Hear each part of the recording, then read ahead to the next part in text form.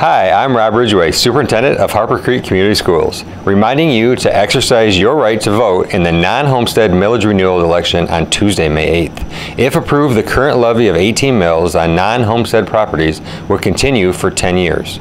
Remember, this millage does not affect the taxes of primary residences, homes where you live the majority of the time. Please join me and the Board of Education as we rock the vote on May 8th.